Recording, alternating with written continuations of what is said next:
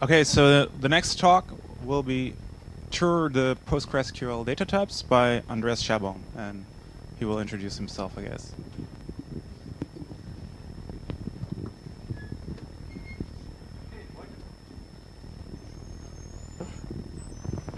So, can you hear me?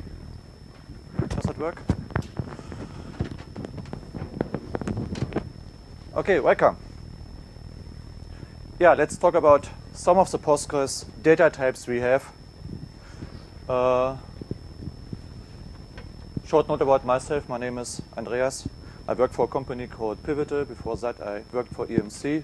And Pivotal is actually a subsidiary of EMC, so I move between EMC and Pivotal and so on. And I work on Greenplum and Postgres projects. Okay, uh, how many of you are using Postgres? Okay, other way around, how many of you never used Postgres? That's good. Anyone knows more than like 10 data types in Postgres? Okay, that's like 10 hands. That's good. This talk is for you. Uh, anyone who is here to get a seat for Simon's talk? Unfortunately, this talk is cancelled. I'm sorry. Okay, first question. How many data types do we have in Postgres? I take answers. 40. 63. Any more? Only one. Only one. That must be Varchar.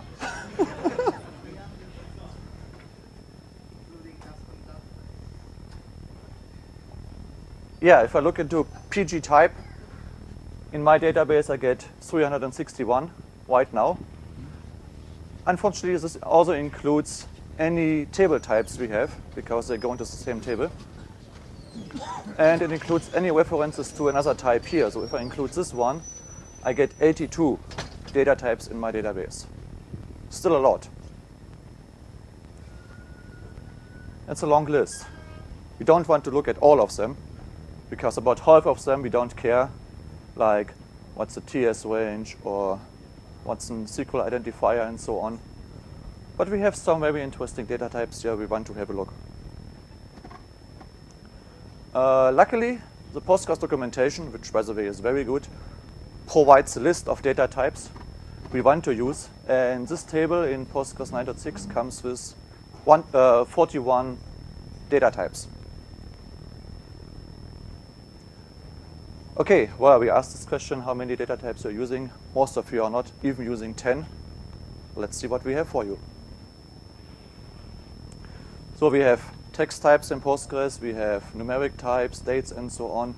Uh, we even have some special types handling JSON or Boolean, binary data. And we start with text types. How many do we have? Any idea? Which is?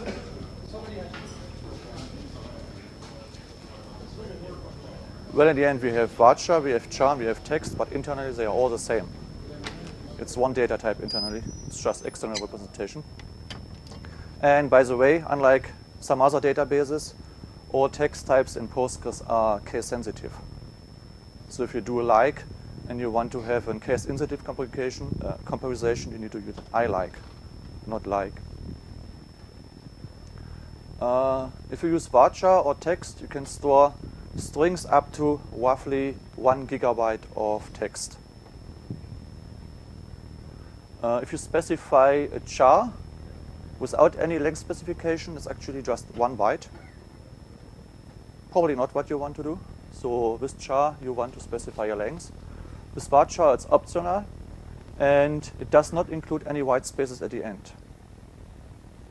There's an interesting case if you look at the white spaces at all.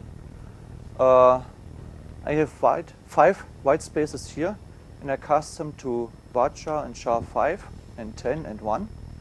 And you see the lengths here. If I have my varchar 5 and my varchar 10, they all end up with 5 white spaces here.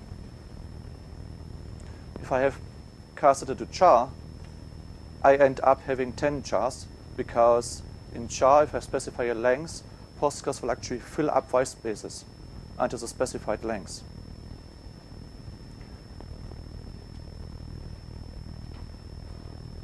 Okay, how does Postgres store any text type or by that any variable length type? Uh, back in the good old days, we only could store any string up to 8 kilobyte roughly. Uh, we have so-called pages, and every page is 8 kilobyte size. And Postgres aims to store about four rows uh, minimum in every page. So it's roughly 2K we can have in a table. It also defines how many columns we can have in a table. It's uh, 1,500 columns per table because every row has to fit in a page. So how can we store a gigabyte of text in 8 kilobyte? Well, we can try to compress it. We can increase block size to a gigabyte. Or we can just go and have text be a pointer into yet another table where we just store multiple rows for every text. That's what Postgres is doing. It's totally transparent for you, but it means you have two tables now. If you do a vacuum in a database, occasionally you see it's not only vacuuming your table, but it's also vacuum so-called toast tables. You see them flowing by if you want to vacuum both. Because then you have to increase the page size to one gigabyte. Yeah, you have a pointer into yet another table which is also using 8 kilobyte pages, but it's using multiple rows until you have your gigabyte or whatever data you want to store. Which also means we can have variable lengths for char, varchar, or numeric, and so on. And Postgres is handling this for us. So what about this varchar or char 255? Whoever run into such a table definition, having a varchar 255? About 20. Why? Any ideas? I haven't heard Oracle before. I have heard Informix before. I have heard SQL Server before, because back in the 90s, they only could store 255 bytes in, in one column. Uh, so this problem doesn't apply to Postgres. If you run into a table with char or varchar 255, go and ask the question why someone defined a table this way. It probably doesn't make sense. It might come from that 255 is actually uh, 2 to the power of 8 minus 1, or 8 bits. And MySQL has an interesting limit. So if you have an index key, it can be 3 times 255 bytes, not more. Not like in Postgres where you can have a gigabyte for index. Uh, they can only store 3 byte UTF-8 and this limits them to 765 bytes. Yet another reason why they have 255 here. Okay, let's move on to numeric types. How many do we have here? So we have integers, we have floating points, and we have numeric. This can be kind of confusing because if you come from Oracle, most people on Oracle use numeric uh, to store any kind of integers and such, but you don't want to do this in Postgres most likely you want to have an integer, not a numeric type. On the other hand, I've seen customers storing uh, any kind of money data in a floating point, which is kind of funny if you run it in auditing later on because uh, floating point it's always rounded up or down. It's never exact. Okay, we have small int, which can store two bytes, uh, which requires 2 bytes and can go from minus 32k to plus 32k. Uh, most likely you have an integer which is minus 2 billion up to 2 plus billion, so it's always a signed integer. And we have a ridiculous large big int which uses 8 bytes internally. Uh, if we have tables which mix uh, small int and you have multiple small int columns, you want to look how you align your table like if you have small int, integer, small int, integer, you would expect it's 12 bytes. It's actually 16 bytes because it's always aligned to 4. You can't start an integer on 2 bytes. So Postgres is actually losing two bytes here and losing two bytes here. If you just rearrange your table, small int, small int, and then integer, integer, you have 12 bytes. If you have a million rows, okay, it's a few megabyte. If you have a billion rows, we're talking gigabytes here. Then we have floating point numbers. So we have real, it's four bytes, which is which has a precision up to six digits, and we have double precision, which goes up to 15 digits. It Always means it's a rounded number. It can store almost everything, as you can see here. So we have six digits here, and okay, it shows us the correct number here. Once I add one more digit here, you see it's rounded. And this will really hurt you, so I have seven digits here, and it gives me back a totally different number. So if you try to store any kind of like money or such in, in a floating point number, your results will be wrong. Don't do this. The same for uh, double precision here, so 15 digits, it's okay. It gives me back the same number. Once I go to 16 digits, it starts rounding my number. And same problem, I have 60 digits here. It starts giving me back another number, it's rounded up here.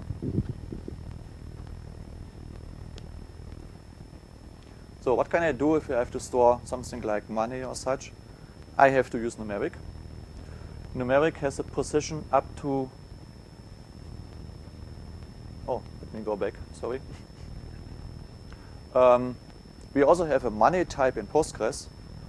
You don't want to use this one at all. There are like two users in the world who use this in total.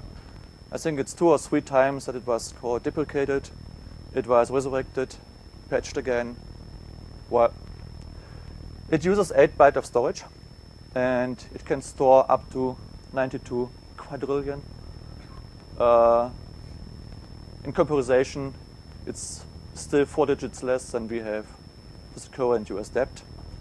So US still have a way to go. Uh, if you want to store money, you really want to use numeric.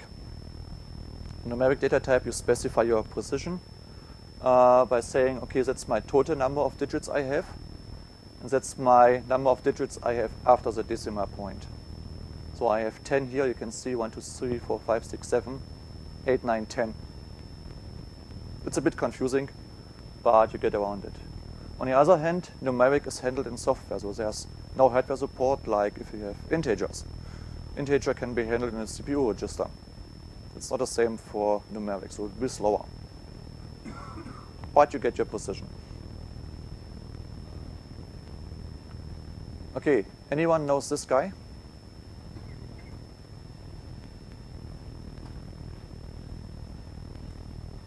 No? Not in person?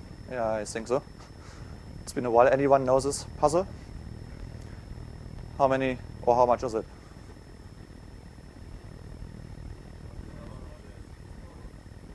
Minus one. yes. So if we try this in with a double precision here, uh, 2 to the power of 64 minus 1, double precision gives us this very inaccurate number.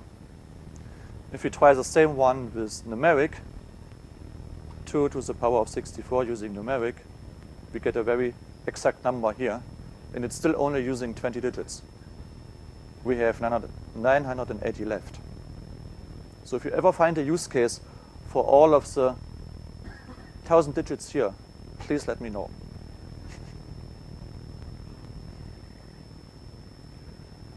Okay, let's move on. Uh, we also have sequences. In other databases, you might heard about it. It's called auto-increment or so on. Uh, if you define a column in Postgres as serial, Postgres will automatically create a sequence for you and set it as a default value for this column. It will also attach this sequence to the table. So if you drop a table, it will also drop a sequence for you. It doesn't have to be, can be. Uh, sequences by default start by, uh, with 1 and increase by 1. But you can change this. So you can have a sequence which does steps of 5 or goes backwards. or starts with a thousand, whatever. Some people use this if they want to count values in a, in a query. They just create a sequence in their query in a, in a transaction, count something, and then drop it. Works this way. Uh, a sequence is not transactional. So anytime you receive a value from a, uh, from a sequence, it's gone. It's never rolled back. So you will have gaps. Like if you roll back a query and you received 50 or 100 sequence values, they are gone.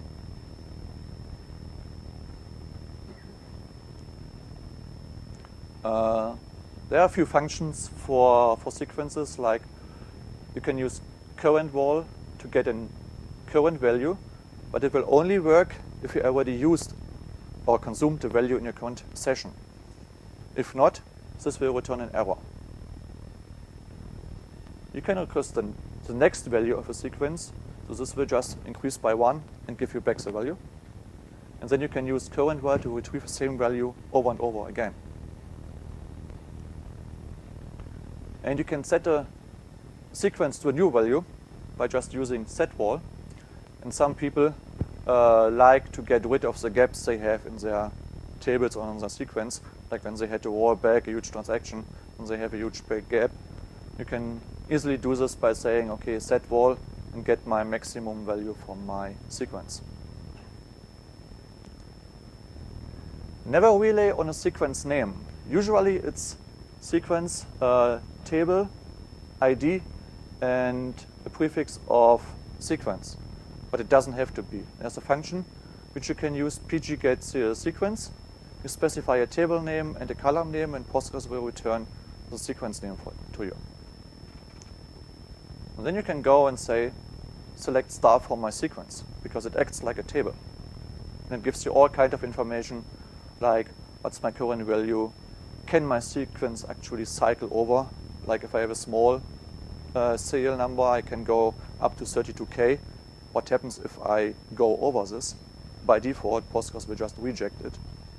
You can change it and say, okay, I want to go over and start from the beginning.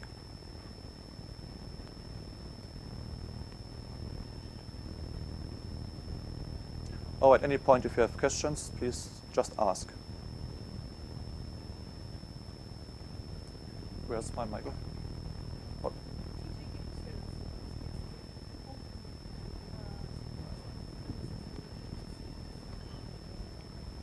Uh, PG, Can you please repeat yes, the question? I will then? do.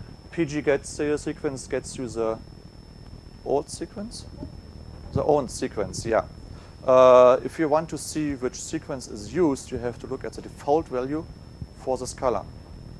So you have two things. You have a sequence. You need a sequence name, and you have a default value.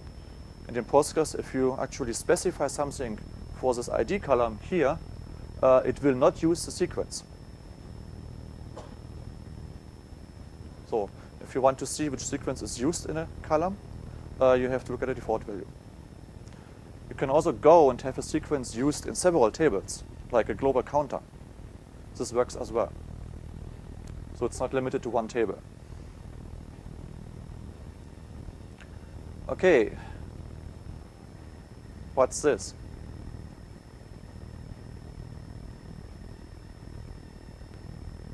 Any ideas? How did you figure out this one? 90 degrees south latitude. It's southward. Okay, what's the time there right now?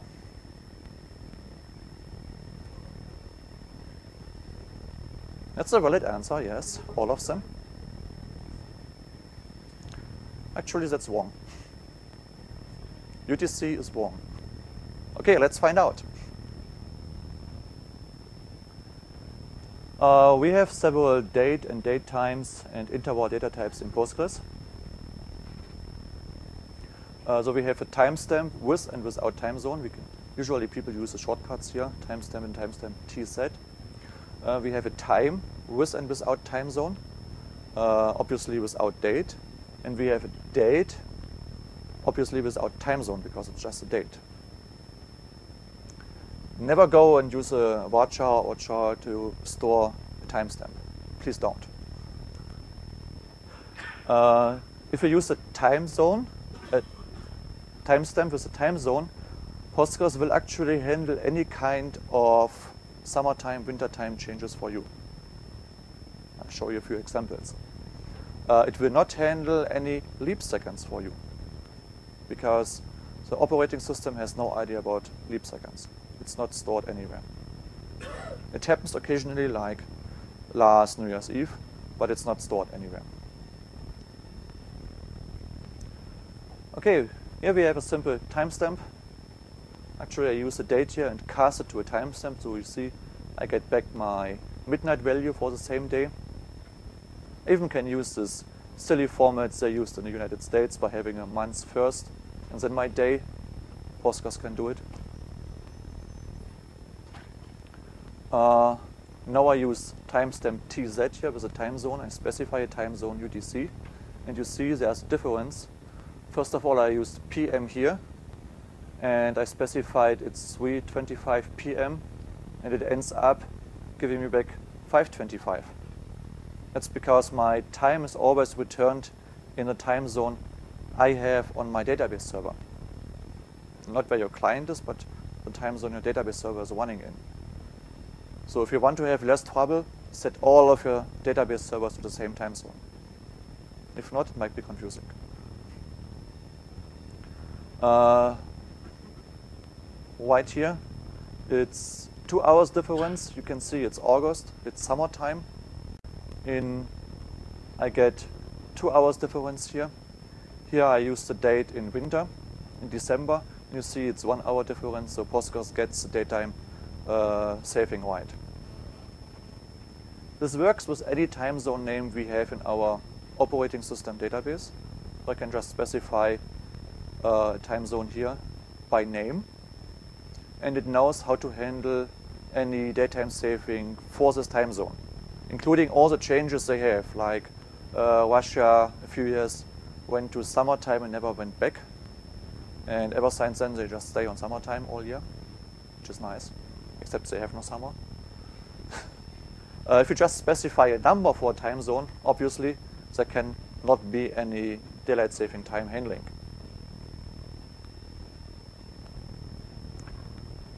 Um, so if I want to return a date in a specific time zone, like th this year it's always returned in my, my own time zone where my server is running, I can also specify I can also set my new time zone here by just saying that time zone. Then it's returned in the time zone I specified here. So Postgres is doing all the math for us. We don't have to do it. It's very handy. Uh, but it's quite complicated to set a time zone every time. So I can just say, give me a date back in this specific time zone. This can be part of a query. Couldn't be any easier. Okay, I can also do math with dates and times. Like here I have two timestamps and I get back the difference, which is an interval now, I have four days difference between these two timestamps. Or like here, I just turn them around. I get minus three days because this one is smaller than this one.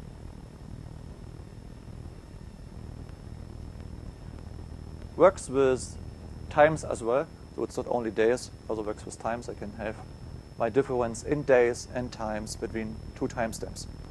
If you want to know how long back someone inserted something in the database, just do a timestamp minus now, no, now minus timestamp, and you get back time since when this happened.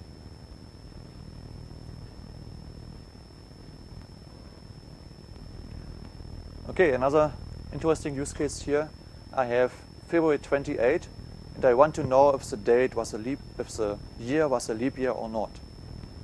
I just add an interval of one day. If it's a leap year, I get back February 29. If it's not a leap year, I get back 1st of March.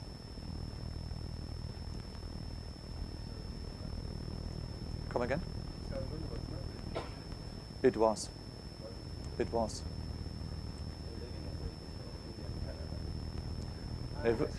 It is, you can divide it by 400, it was. Are you questioning Postgres?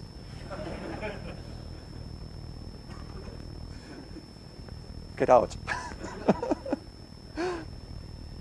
okay, we have 2001, uh, 1st of January minus 2000, 1st of January. So I get back 360 days, which means 2000 is a leap year. Again uh, I use 2002, 1st of January minus 2001, 1st of January. I get back 365. So 2001 is not a leap year. Okay, coming back to this question, what time at South Pole? Uh, South Pole is Scott Amundsen Station, actually belongs to the US, but it's supplied from New Zealand. So for easiness, they just use the same time zone as New Zealand, which is NZ. So by now we learned how to query time for New Zealand. Select now at time zone New Zealand. But this is, well, it's not good enough, at least for us, because South Pole got its own time zone. so we can actually query, select now at time zone Antarctica South Pole. And if you look into your operating system database, you see that we have like nine or 10 different uh, time zones defined under Antarctica. So every station down there got its own time zone, usually aligned to which country is operating this uh, station. There was a question?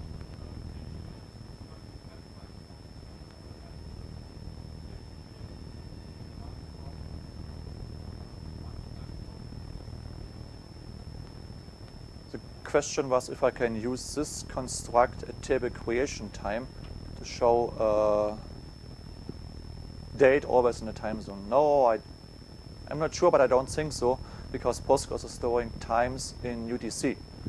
It's always a question of transformation once you retrieve a value.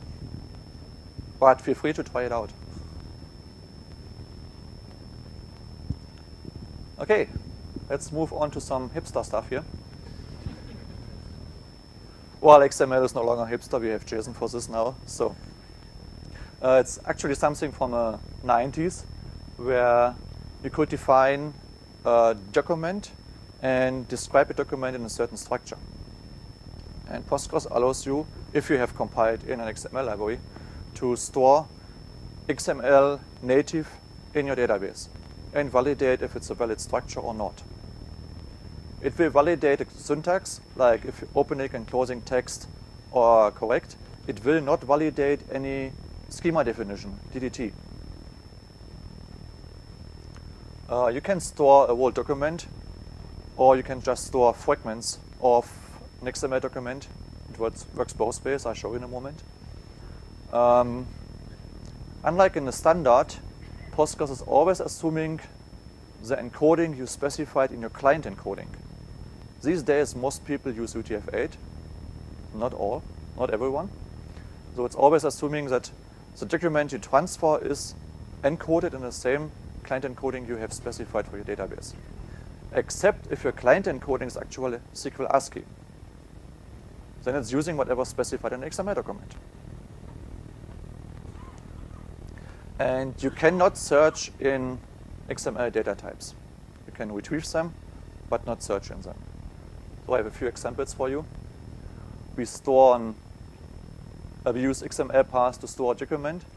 Here we have a full document using XML, and you see it returns my full uh, document here. I can also store just a part of this XML document. And if I want to retrieve it and use it somewhere else, I can use XML serialize, have my XML content here, and I get back a string, which I can use in my application. Okay, but now for the real hipster stuff. We have JSON in Postgres as well. Uh, it's used in many web frameworks these days. I think every Internet of Things device you have which transfers data, it's using JSON. Uh, a number of this NoSQL database like Cassandra and MongoDB and so on use JSON native. And Postgres can do it as well. Why not? We have two different data types here. We have JSONB, which will decompress whatever you store in it and use a parse structure and we have the order JSON data type, which will store whatever you write into it and will decompress and validate it once you retrieve it. And unlike NoSQL databases, everything you do with JSON and JSONB in Postgres is transactional. So if you roll it back, it's gone.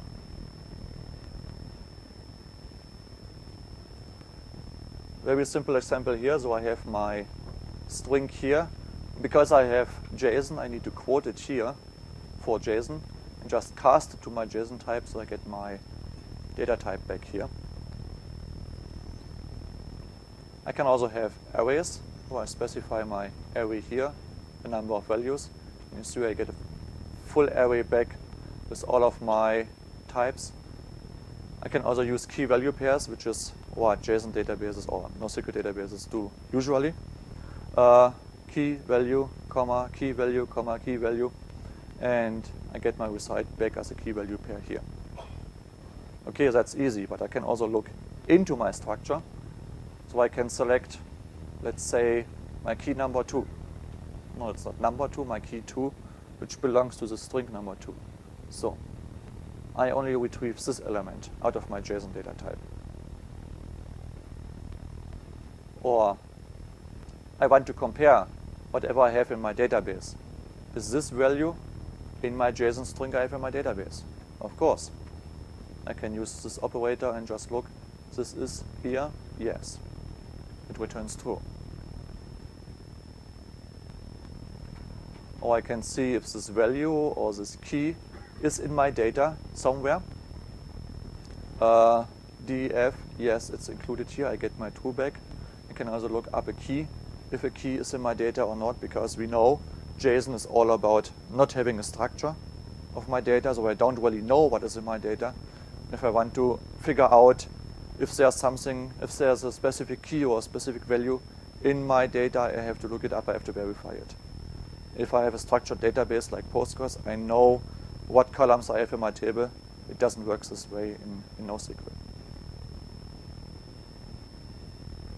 Good. One of the more advanced features we have, we can actually use an index on JSONB types. Or can actually take someone a picture and send it to get hash, please. Uh, so we have a GIN index, which is generalized inverted index in Postgres, but it only works on JSONB, not on JSON. What I can do, can create an index on my table, specify my values I want to index here, you see I just access this name column here using GIN. And then whenever I query my table here, my name field in it, it will use this index to speed up my query. Which other database, NoSQL database, can use an index on JSON? Good. Let's move on. We have a few more. So we have a real Boolean type in Postgres. If you have anything which is supposed to store true false, please use a Boolean, not a small int. I've seen this before a few times. So we have a small, we have a so-called Boolean in a table, and we want to migrate it, and we end up with values like 257. What does it mean for a Boolean? Uh, you can use values like t or yes or no to store the values, but Postgres will always return either true or false one of these two. And of course null, if you have it.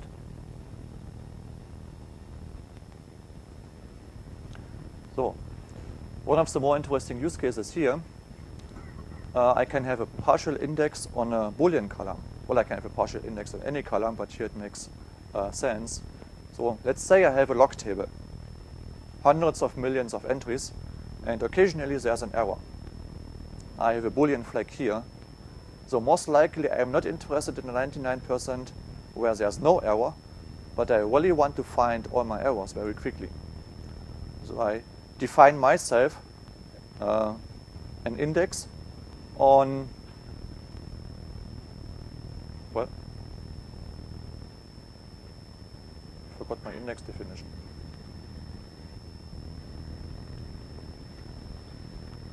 Microsoft PowerPoint has encountered a problem. I'm sorry.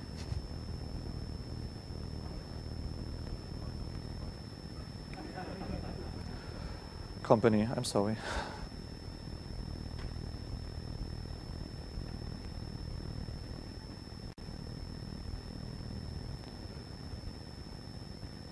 I hit JSON here.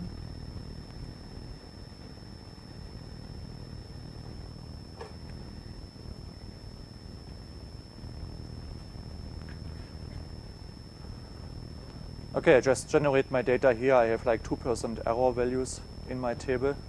And if I have a conditional index on my column, I can use this index to find out, ah, here's my index, where error is true.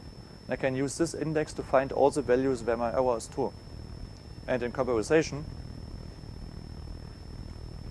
let's look at the size of this index. My full index on this table is roughly 3000 pages and my conditional index is 57 pages. And out of this uh, roughly 3000 pages, 2700 I will never ever use because it's my 98% of non-errors. I can't use this one. Good. We also have a bit data type. Makes sense if you uh, want to store config values like true, false, and don't want to spend one boolean per column.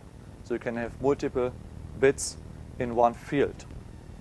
So we have bit, which is a fixed length, and we have bit varying, which is a uh, up to this length you specify here. If you don't specify a length, it's always a bit 1. It's like a boolean. And you can use all the logical operators we have, like and, or, and so on, on these values. So I have a table with my bit field here. And I can actually use a bit operator in Postgres to specify bits, so I don't have to do the math and uh, use my decimal value. I can have Postgres storing this for me. Like here, I have my data and I use an AND. Obviously, I only get back the bits where in both values in my data in my question here, bits are set. If I have an OR, I get back all my bits because it's either set in data or, or set in my query. Uh, I can have XOR. I can do all the bit operations we know from C, like I shift to left here, which basically means it's multiplication by 2. You see it's 21 here, I shifted it by 1, so I get 42 as a result. Everything in a database. I don't even have to pull out my data for this. And I can search for spe specific bits in my field because that's what we do with databases, we search in it. Uh, so I want to find this bit and I get back my data where this bit is set. Obviously I get all the other ones as well, but I don't care about them.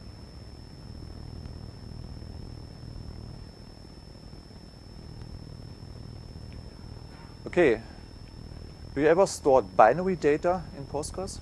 Or any databases for that matter? There's way too many arms. Why are you storing binary data? Images? Well, some people have to do this. Mm. Uh, Postgres has a binary data type for this. It's called bytea. And if you just want to store binary data in text, there's a problem. Postgres is written in C, and in C, a string ends with a binary zero, no bit set. If you try to send this to the database, you get a parse error at some point because your string ends here. Well, all the programming languages we have, like Python, Perl, Java, whatsoever, they all have functions to handle binary data. Well, not showing any examples here how you can transfer binary data in a database. Please look up the documentation for the programming language you have. There are functions how to store and retrieve binary data from a bytea column. Please don't try to write your own parser. I've seen this.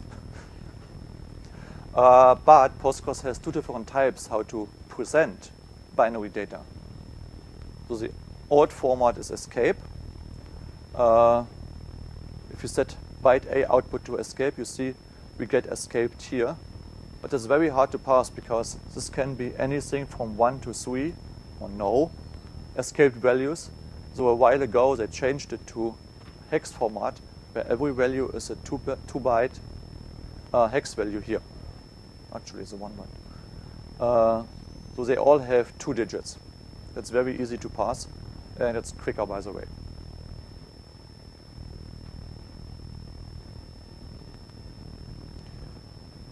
We also have network address bytes, three of them.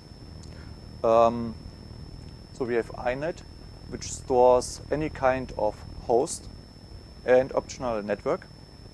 We have CD, uh, CIDR, which only stores a network definition. And we have a MAC address field, which can store in six bytes a MAC address. So we don't want to go and use like a char or watch or anything to store IP addresses because then you have to deal with IPv4 and IPv6 addresses. Postgres can do it for you. We have the right data types. Any kind of log parsing you do, any kind of uh, network data you want to store, please use one of these types. Or like here, I store an IP address in INET, or I just store an IP address without a network definition, so I get back my slash uh, 32.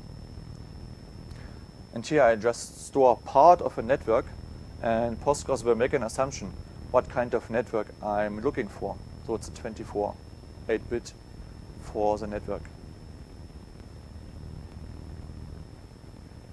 And again, if you do log, log parsing or such, I can use an index on such a column. So I have my INET table here. I can create an index on it, and I store a number of values here, and just want to find out which of these values belong to a certain range.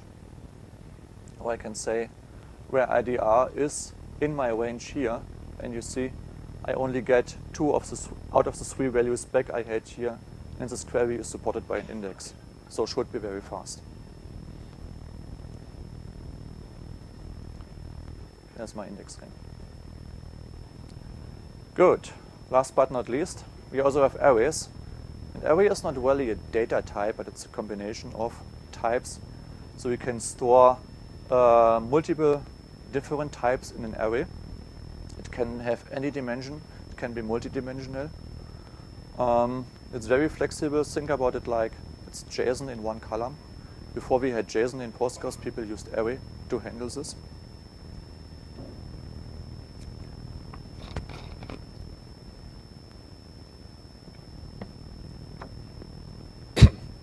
Sorry.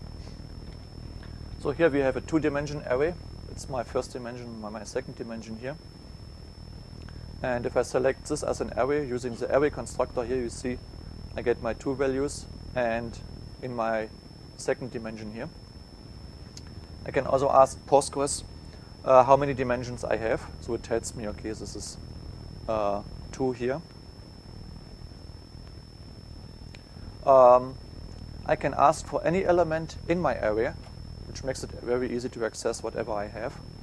So I just want to have this one first element here. Or I want to have my elements 2 up to 3. So it will return these two. Um, yeah, it tells me how many dimensions I have and it tells me what is my length. So in this case, I ask for my total length here for the first element it's 2, so I have two values in my array. So I can really loop over whatever I have in my array. And of course, I can search in my array, or I can say, okay, if this element is def, uh, it returns true because it's in my array. I can uh, prepend and append to an array. There are many more operations. Please look up in documentation, but these are the more interesting ones. Uh, it's a bit confusing because prepend actually has this parameter before the array and append has it afterwards.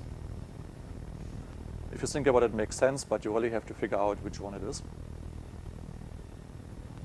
Uh, you can create a string out of an array. So if you want to use this one in your application, just use array to string, or you can create a table or a number of rows out of your array by just using unnest. Good.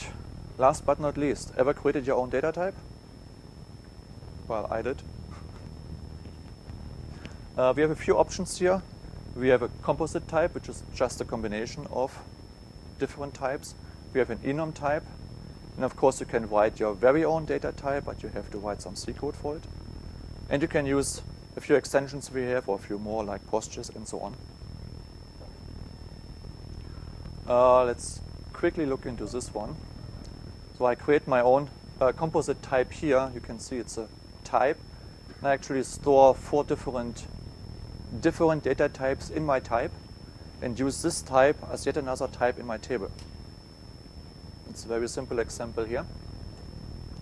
So I have two different currencies. I have a date and a value. And I just go and store my conversation rate between euro and US dollar.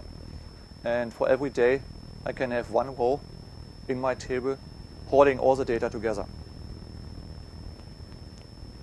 And of course, I can select it, it returns a row. I can also just pick certain values I want to have out of my composite type. And last but not least, enum. Uh, enumeration is really a list of values, and you should consider if you need an enum or not, uh, because this list should never change. Give you a good example. How many different gender values you know? How many? 17? Any more? Well, Facebook defines 56 right now. So if I wanted to create a gender type, think again. Uh, you can create a type like here as an enum. I have my four different values here. Then again, I can use this type as a data type in my table. I can insert by using the values into my color column here. I can also select by using the color. So it really does, uh, does a one-to-n lookup for me in the background. Good. That's it for here. Uh, we have a few more. You've seen we have like 40 more data types. We did not look into all of them, but it's an overview of the most common used you will find in Postgres. Thank you.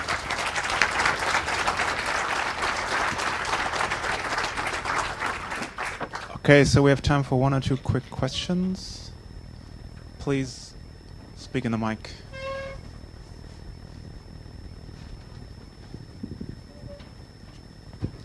Thank you. Um, right at the beginning, you said uh, you can lose space to alignment requirements of the columns in a table. Now, I seem to remember that years ago the layout, the physical layout of a table was decoupled from the logical order of the columns. So I thought this problem was solved, wasn't it? No, you have this in databases which have uh, columnar storage but in Postgres, it's just aligned the way you have it created. It's all in one page. One more question. Hey, hi, uh, thank you for the great talk. Uh, I have one question. Will it ever be possible to uh, use indexes on arrays or use other people's primary keys as foreign keys in arrays in the same way as it would be in normal database fields? I think many people just moved on to JSON over arrays uh, because it's much functionally it's better than in arrays. And you can use all the fancy index stuff in JSON, which you can't in arrays. Well, we are out of time basically anyway, so thanks, Andreas, again. Thanks.